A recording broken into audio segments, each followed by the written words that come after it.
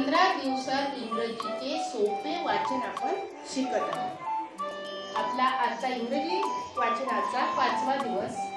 लिडी शेवटी असणारे शब्द आपण वाचणार आहोत आणि लिहिणार आहोत. तर या ठिकाणी हे शब्द ई डी ईडीचा उच्चार काय होते?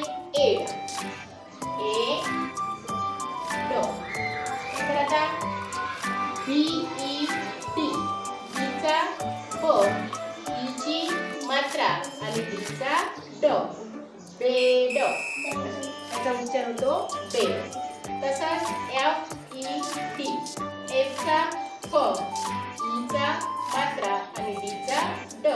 F E D fed L E T एलचा ल ईची मात्रा आणि डीचा ड. याचा उच्चार होतो लेड पी हो, प पीची मात्रा आणि डीचा ड याचा उच्चार होतो पेड. R E T. आरचा र. ईचा मात्रा आणि डीचा ड रे. टी ई टी टीचा ट. ईची मात्रा आणि डीचा ड याचा उच्चार टेड यम ई डी. यमचा म.